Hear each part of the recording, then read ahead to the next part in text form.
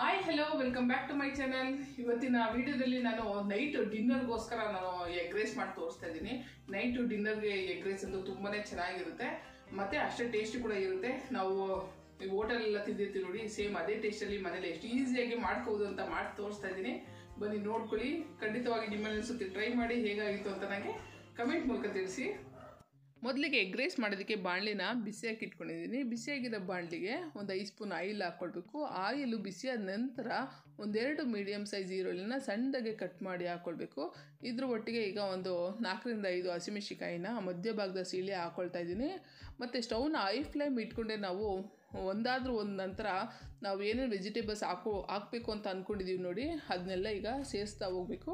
ಒಂದು ಕ್ಯಾಪ್ಸಿಕಮ್ನ ಸಣ್ಣದಾಗಿ ಕಟ್ ಮಾಡಿ ಹಾಕಬೇಕು. ನಂತರ ಒಂದು ಕ್ಯಾರೆಟ್ನ ನೋಡಿ ಸಣ್ಣದಾಗಿ ಕಟ್ ಮಾಡಿ ಹಾಕಿದ್ದೀನಿ. ಇದ್ರ ಒಟ್ಟಿಗೆ ಈಗ ಒಂದು ಹಿಡಿಯಷ್ಟು ಆಗೋಷ್ಟು ನಾನು ಕ್ಯಾಬೇಜ್ನ ಹಾಕೋಬೇಕು. ಕ್ಯಾಬೇಜ್ ಎಲ್ಲ ತರಕಾರಿ ಹಾಕಿ ಚೆನ್ನಾಗಿ ಆಯಿಲಲ್ಲೇ ಕುಕ್ ಆಗಬೇಕು. ಈ ತರಕಾರಿ ಎಲ್ಲನೂ ಅಲ್ಲಿಗಟ್ಟ ಚೆನ್ನಾಗಿ ಫ್ರೈ ಮಾಡ್ಕೊಳ್ಬೇಕು. ಈಗ ಒಂದು ಸ್ಪೂನಷ್ಟು ನಾನು ಉಪ್ಪನ್ನ ಹಾಕ್ಕೊಳ್ತಾ ಇದ್ದೀನಿ.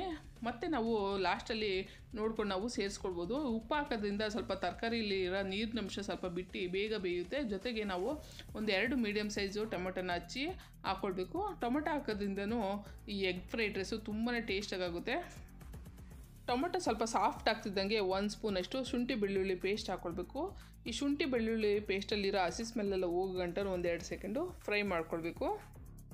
ಟೊಮೊಟೊ ಕೂಡ ಈಗ ಚೆನ್ನಾಗಿ ಸಾಫ್ಟ್ ಆಗಿದೆ. ಈಗ ಒಂದೊಂದೇ ಸ್ಪೈಸಸ್ನ ಆ್ಯಡ್ ಮಾಡ್ತಾ ಹೋಗ್ತಾ ಇರಬೇಕು. ಈಗ ಅರ್ಧ ಸ್ಪೂನು ಅರಿಶಿನ ಪೌಡ್ರ್ ಹಾಕ್ತಾಯಿದ್ದೀನಿ ಒಂದು ಸ್ಪೂನು ಚಿಲ್ಲಿ ಪೌಡ್ರ್ ಹಾಕ್ಕೊಳ್ಬೇಕು.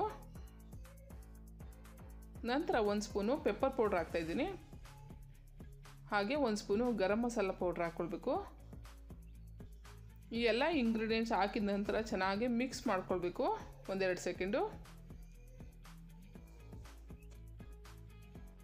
ಈ ಎಲ್ಲ ಸ್ಪೈಸಸ್ಸು ಹಾಕಿದ ನಂತರ ಚೆನ್ನಾಗಿ ಮಿಕ್ಸ್ ಮಾಡಿಕೊಂಡು ಸೆಂಟ್ರಲ್ಲಿ ಸ್ವಲ್ಪ ಜಾಗ ಮಾಡಿಕೊಂಡು ಮೊಟ್ಟೆನ ಹೊಡೆದಾಕಬೇಕು ನಾನು ಆರು ಮೊಟ್ಟೆನ ಇದ್ದೀನಿ.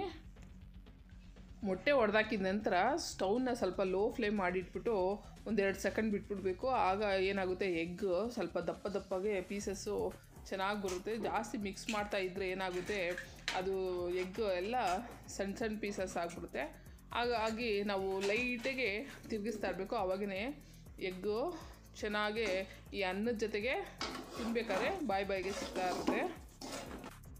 ಈ ಎಗ್ ರೈಸ್ಗೆ ನಾವು ಯಾವಾಗಲೂ ಎಗ್ನ ಒಂದು ಅರ್ಧಂಬರ್ಧಂ ಬಾಯಿಲ್ ಮಾಡ್ಕೊಂಡು ನಂತರ ನಾವು ರೈಸ್ನ ಹಾಕಿ ಚೆನ್ನಾಗಿ ಮಿಕ್ಸ್ ಮಾಡ್ಕೊಳ್ಬೇಕು.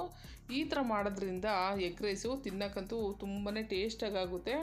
ಫಸ್ಟೇ ನಾವು ಚೆನ್ನಾಗಿ ಎಗ್ನ ಫ್ರೈ ಮಾಡ್ಕೊಂಬಿಟ್ರೆ ಏನಾಗುತ್ತೆ ಅಷ್ಟು ಟೇಸ್ಟ್ ಇರೋಲ್ಲ, ಈಗ ಮಾಡಿ ನೋಡಿ ತುಂಬಾ ಚೆನ್ನಾಗಿರುತ್ತೆ. ಕೊನೆಯಲ್ಲಿ ಒಂದೆರಡು ಸ್ಪೂನು ಸೋಯಾ ಸಾಸ್ ಹಾಕ್ಕೊಳ್ಬೇಕು ನಂತರ ಸಣ್ಣದಾಗಿ ಹಚ್ಚಿರೋಂಥ ಕೊತ್ತಂಬರಿ ಸೊಪ್ಪನ್ನ ಸ್ವಲ್ಪ ಮೇಲಿಂದ ಉದುರಿಸ್ಬಿಟ್ಟು ಚೆನ್ನಾಗಿ ಮಿಕ್ಸ್ ಮಾಡ್ಕೊಳ್ಬೇಕು.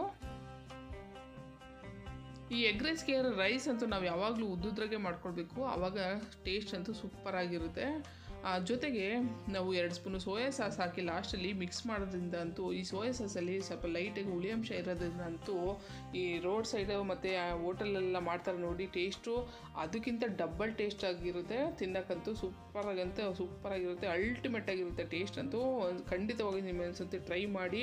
ನಮ್ಮನೇಲಂತೂ ನಮ್ಮ ಮಕ್ಳಿಗಂತೂ ತುಂಬಾ ಇಷ್ಟ ಎಗ್ ರೈಸು ನಾನು ಫಿಫ್ಟೀನ್ ಡೇಸ್ ಒಂದ್ಸತಿ ಆದರೂ ನಾನು ಎಗ್ ರೈಸ್ನ ಮಾಡ್ತಾನೆ ಇರ್ತೀನಿ.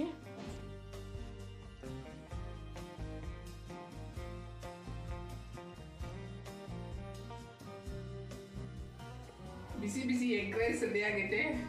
ಓಟಲ್ ಟೇಸ್ಟ್ ಕೂಡ ಮನೇಲೇ ಮಾಡ್ಕೋಬೋದು. ಮತ್ತೆ ರೋಡ್ ಸೈಡ್ ಎಲ್ಲ ಸಿಗುತ್ತೆ ನೋಡಿ. ಎಗ್ ರೈಸು ಅದೇ ಟೇಸ್ಟಲ್ಲೇ ಮನೇಲೂ ಕೂಡ ಎಷ್ಟು ಈಸಿಯಾಗಿ ಮಾಡ್ಕೋಬೋದು ಅಂತ ಮಾಡಿ ತೋರಿಸಿದ್ದೀನಿ. ಈಗ ಟೇಸ್ಟ್ ಮಾಡಿ ಯಾವ ರೀತಿ ಆಗಿದೆ ಅಂತ ಹೇಳ್ತೀನಿ. ನಮ್ಮನೆ ಎಗ್ ರೈಸು ಸ್ವಲ್ಪ ಸ್ಪೈಸಿಯಾಗಿರುತ್ತೆ ಯಾಕಂದ್ರೆ ನಮಗೆಲ್ಲ ಸ್ವಲ್ಪ ಖಾರ ಅಂದರೆ ತುಂಬ ಇಷ್ಟ. ಅದಕ್ಕೆ ಸ್ವಲ್ಪ ಸ್ಪೈಸಿಯಾಗಿ ಮಾಡ್ಕೊಡಿದ್ವಿ ನಿಮ್ಗೆ ಖಾರ ಇಷ್ಟ ಇಲ್ಲ ಅಂದರೆ ಸ್ವಲ್ಪ ಲೈಟಾಗೆ ಖಾರನ ಹಾಕ್ಕೊಳ್ಳಿ ಸರಿ ಹೋಗುತ್ತೆ ಮಕ್ಕಳೆಲ್ಲ ತಿನ್ಬೇಕಲ್ಲ, ಅದಕ್ಕೋಸ್ಕರ.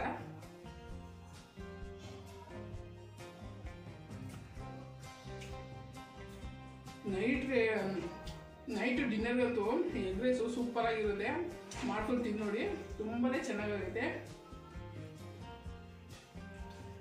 ಈ ಎಗ್ ರೈಸ್ನ ಬ್ಯಾಚುಲರ್ಸ್ ಕೂಡ ಟ್ರೈ ಮಾಡ್ಬೋದು. ಅಷ್ಟು ಈಸಿಯಾಗಿ ಮಾಡಿ ತೋರಿಸಿದ್ದೀನಿ. ಜಾಸ್ತಿ ಏನು ಮಸಾಲೆ ಇರಲ್ಲ, ಎಲ್ಲ ಪೌಡರು ಹಾಕಿ ಮಾಡಿ ಬ್ಯಾಚುಲರ್ಸ್ ಕೂಡ ಆರಾಮ ಮಾಡ್ಕೋಬೋದು. ಅಷ್ಟು ಟೇಸ್ಟ್ ಆಗಿದೆ.